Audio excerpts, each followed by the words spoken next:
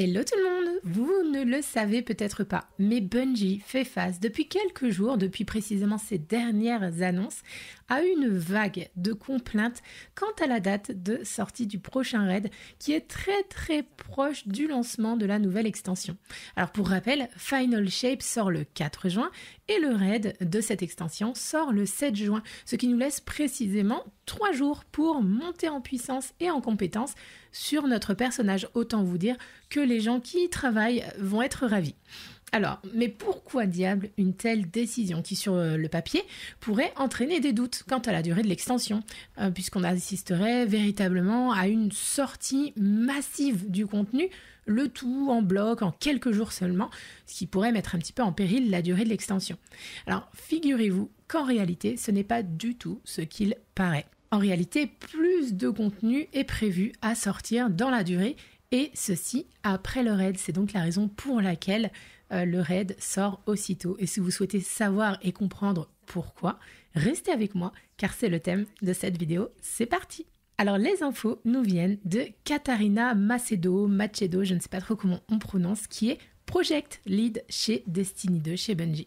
Donc à l'occasion d'un tweet sur X, la développeuse va tout simplement clarifier la situation et va nous expliquer pourquoi de telles directions ont été prises dans les studios. Dans un premier temps, elle rappelle clairement que finir la campagne de Final Shape ne sera pas la fin de l'aventure et de la saga de la lumière et des ténèbres. Il va donc y avoir une suite. On le savait déjà, Luke Smith nous en avait parlé. Pour ceux qui entreront dans le raid, rappelez-vous qu'il va falloir vous apprêter à affronter le témoin. Pour tous les autres, ceux qui n'auront pas cette chance, vous aurez l'occasion de revivre le combat un petit peu plus tard après la sortie du raid. Alors concrètement, elle nous explique que dans le déroulement du lore de Destiny, il est important que les choses aient un ordre. Et nous allons donc commencer la campagne dans le cœur du voyageur, puis nous allons devoir compter sur la réussite des escouades qui vont participer à affronter le témoin à l'occasion de ce fameux raid tant discuté. Et c'est à ce moment-là seulement que la suite de la campagne va se débloquer. Un schéma inédit, un schéma qui scinde l'expérience de jeu en deux afin de pouvoir donner un sens et une cohérence au déroulement de la suite de l'histoire. Voilà donc la raison pour laquelle le raid intervient si tôt après la sortie de l'extension. Attention, prenez note du point suivant qui est très important.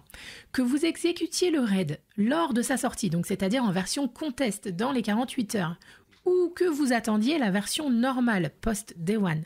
Ce n'est pas important. Ce qui est important, c'est qu'il va falloir impérativement avoir réalisé au préalable la campagne dans sa totalité, ainsi que la quête Wild Card. Et ce sont les deux conditions impératives pour pouvoir rentrer dans le raid. Donc restez concentré prioritairement sur ces deux objectifs à la sortie de l'extension si toutefois vous visez le Day One du raid.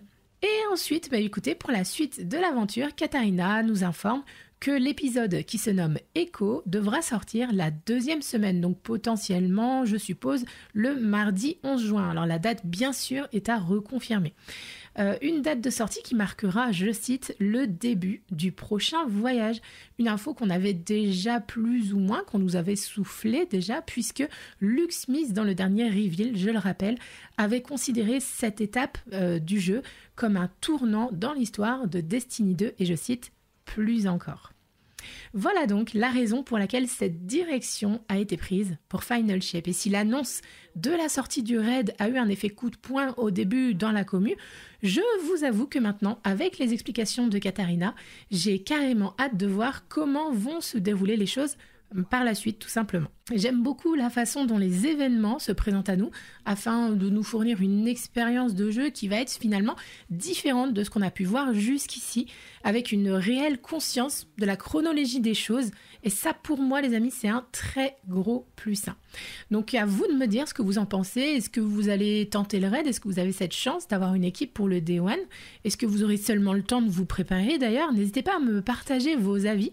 Moi je vais essayer de réunir une petite escouade et de participer au raid, j'espère qu'on sera suffisamment nombreux et qu'on aura le temps de se préparer également. Euh, moi, j'aimerais bien voir surtout comment la commune réagit à toutes ces annonces. Donc, euh, n'hésitez pas à me faire part de, de vos impressions dans les commentaires. D'ici là, portez-vous bien et bon week-end à tous. Ciao, ciao